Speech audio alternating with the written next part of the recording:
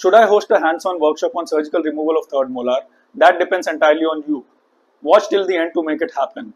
Hi, I'm Dr. Zibran Khan, oral and maxillofacial surgeon and the person behind this YouTube channel where I post uh, lectures and surgical videos especially focused on third molar surgeries. Over the past one year, many of you have messaged me asking for a hands-on surgical workshop and now I'm seriously planning to make it happen. This is not going to be a beginner's workshop. If you're already comfortable with basic extraction techniques and want to master surgical removal of third molar, then this two-day workshop is for you.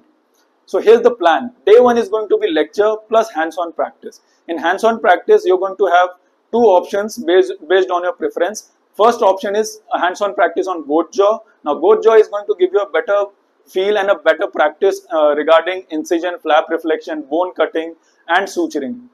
Whereas in a 3D printed mandible, uh, you won't get the hands-on for uh, incision and flap reflection. You'll get only the option of bone cutting in the 3D printed mandible. And that too, that feel will not be as good as that of the goat, goat jaw because it is a natural bone. Goat jaw is a natural bone, whereas 3D printed mandible is going to be a plastic model. So you won't get as good as a feel as compared to uh, goat jaw. So the choice is again yours. Day 2 is going to be live surgery demo and optional patient hands-on for those who qualify.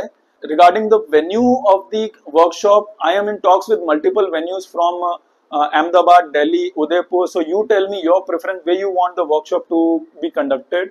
This video is not a confirmation that the workshop is going to happen. This workshop happens only if enough of you register serious interest via the Google form. If there is no de demand, there won't be any workshop. So if you want this to happen, speak up now. If you are seriously interested, fill the Google form now and tell me your venue city preference, uh, whether you prefer a goat jaw hands-on or a 3D printed mandible hands-on and other topic that you want me to cover during the workshop. This is your last chance to shape the workshop. Don't wait. Link is in the description. Thank you for watching.